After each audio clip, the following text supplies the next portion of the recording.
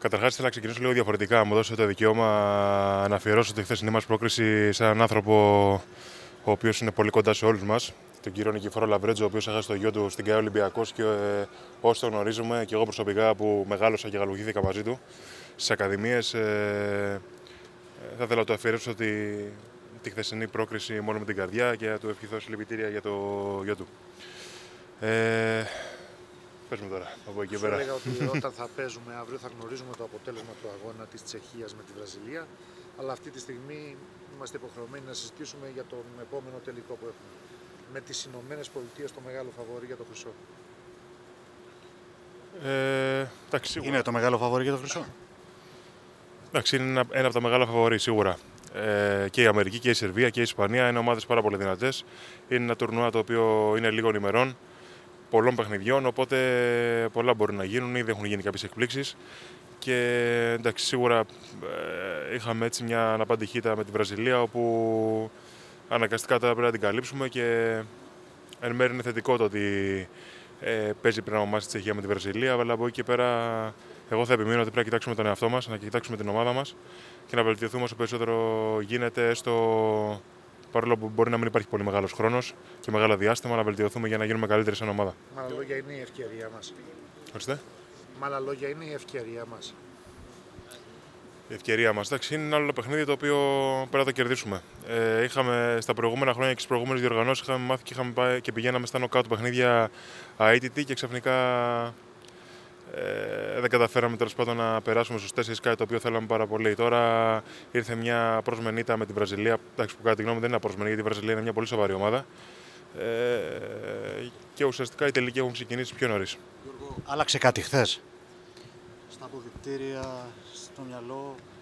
Εντάξει, σίγουρα πάντα σε αυτό το επίπεδο και ειδικά μια ήττα ε, σε έναν όμιλο ε, πρέπει να αντιδράσει σαν ομάδα ε, σε όλους τους τομείς του παιχνιδιού. Και ατομικά και ομαδικά και επιθετικά και αμυντικά. Ενώ σε κάποια... άλλαξε κάτι μετά την νίκη. Α, μετά την νίκη. Ψυχολογικά, πνευματικά. Όχι, τίποτα. Ήταν ένα παιχνίδι, θέλαμε να το κερδίσουμε. Υπήρχε το πρέπει μπροστά. Ε, και από εκεί και πέρα όλοι ξέραμε ότι ε, πρέπει να κερδίσουμε στο επόμενο. Αρχίζει γενομένης αύριο και βλέπουμε μετά. σε αυτό το τουρνουά ε, η εθνική ομάδα έχει πάει πολύ καλά στην επίθεση και τουλάχιστον στα δύο προηγούμενα μάτια απέναντι σε αθλητικές ομάδες με γρήγορους παίκτες όπως είναι η Βραζιλία και η Νέα Ζηλανδία είχαμε μεγάλο πρόβλημα στην άμυνα που γενικά παραδοσιακά τα τελευταία χρόνια ήταν το ατού της Ελλάδας στα διεθνή τουρνουά. Ε, τι μας κάνει να πιστεύουμε ότι αύριο μπορεί να είναι καλύτερα τα πράγματα απέναντι στους πιο αθλητικούς αντιπάλους που είναι οι Αμερικάνοι; Μήπως το γεγονός ότι έχουμε εμείς πολλά περιθώρια βελτίωσης και στους δύο τομείς; Η αλήθεια είναι ότι όπως το πες, έχουμε πολλά περιθώρια βελτίωσης. Ε, εντάξει, γενικότερα οι εθνικές ομάδες, επειδή δεν, όλες οι ομάδες δεν έχουν πάρα πολύ χρόνο να προετοιμαστούν, ε, ειδικά στην άμυνα και να βάλουν πάρα πολλούς κανόνες όπως μπορεί να βάλει κάθε ομάδα, κάθε, κάθε σύλλογο στη διάρκεια και με το πέρας του πρωταθλήματος. Ε, Ομάδες οι οποίες καταφέρουν και γυρνάνε την μπάλα περισσότερο, δημιουργούν περισσότερα ρήγματα και έτσι έχουν περισσότερες πιθανότητες, να το πω έτσι, άμα παίξουν πιο ε, συγκεντρωμένο μπάσκετ και πιο ομαδικό να κερδίσουν.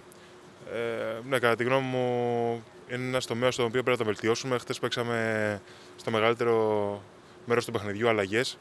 Κάτι το οποίο δεν το είχαμε κάνει μέχρι στιγμής. Η Νέα Ζηλανδία είναι μια ομάδα που παίζει πάρα πολύ run and gun παιχνίδι, σουτάρει πάρα πολύ τρίποντο. Ε, δεν μπορώ να πω ότι είμαστε και 100% ευχαριστημένοι με τον τρόπο που παίξαμε άμυνα και σίγουρα πρέπει να το βελτιώσουμε αύριο γιατί παίζουμε μια ομάδα ακόμα καλύτερη επιθετικά σε ταλέντο. Τον αντίπαλο το κερδίζει. Το όνομα της ομάδας είναι οι Ηνωμένε Πολιτείε ή είναι δεδομένο ότι θα παρουσιαστεί πιο συγκεντρωμένη πνευματικά εθνική μέχρι τώρα; Όχι, σε όλα τα παιχνίδια μα συγκεντρωμένοι και σε όλα τα παιχνίδια μπαίνουμε όπως ε, πρέπει να πούμε. Ε, σίγουρα αποτελεί ένα μεγαλύτερο κίνητρο, αλλά κατά τη γνώμη μου το κίνητρο όλων είναι να καταφέρουμε όλοι να ξαναοδηγήσουμε τη χώρα και την ομάδα αυτή ψηλά, ασχέτως άμα έχει να κάνει με την Αμερική ή οποιοδήποτε είναι ο αντίπαλος. Αυτό τον αντίπαλο το κερδίζει κανείς παίζοντας μπάσκετ, straight ή αντάρτικο, αντάρτο πόλεμο. Δηλαδή προσπαθείς να καταστρέψεις λίγο τον αντίπαλο ή τον χτυπάς με το παιχνίδι σου.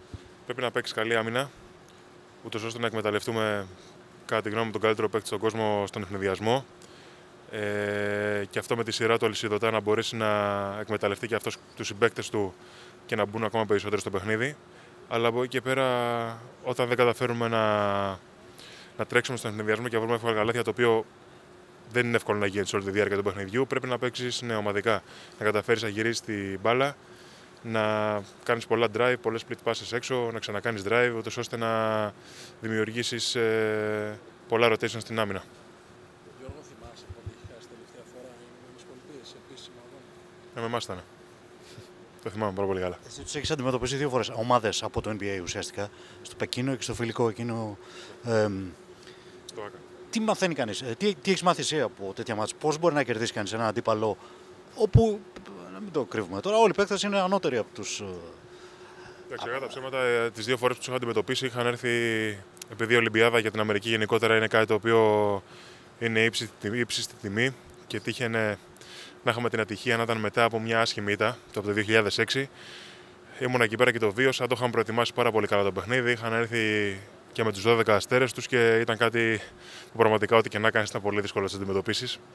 Αλλά σε γενικές γραμμές, εντάξει, αυτό που, εκεί που πρέπει να παραμείνεις και εκεί που πρέπει να παλέψεις είναι ξεκινώντας από την άμυνα. Πρέπει να έχεις 40 λεπτά συγκέντρωσης, όσο δύσκολο και να είναι, να μην τους αφήσεις καθόλου να, να βρουν εύκολα καλάθια και εύκολους ευνηδιασμούς. Κάτι το οποίο δεν το έχουμε κάνει και πάρα πολύ καλά στα πρώτα τρία παιχνίδια. Έχουμε φάει πάρα πολύ εύκολα καλάθια και ειδικά σε τουρνουά όπως αυτό που είναι ε, ημερομηνιακά πολύ μικρό. Ε, αυτά τα μικρά καλάθια και αυτά τα σύντομα καλάθια, ουσιαστικά τα εύκολα, είναι κάτι το οποίο σου στοιχίζει στο τέλος. Αυτός είναι και ο βασικός λόγος που δεν μπορέσαμε να υπερασπιστούμε στο δεύτερο παιχνίδι μια σημαντική διαφορά και στο τρίτο πάλι είχαμε μια διαφορά γιατί κοντέψαμε να χάσουμε. Εντάξει. Είναι ο βασικός λόγος. Ε, Κοίτα, από τη στιγμή που χάσαμε ένα πόντο ε, και δίκαια κατά τη γνώμη μου, κατά τα ψέματα, δεν θέλω να ψάχνω να βρω δικαιολογίες. Ε, ναι, είχαμε, ε, είχαμε δεχτεί αρκετά εύκολα καλάθια. Ειδικά στο δεύτερο ημίχρονο, δείξαμε κάποια σημάδια χαλάρωση τα οποία είναι αδικαιολόγητα.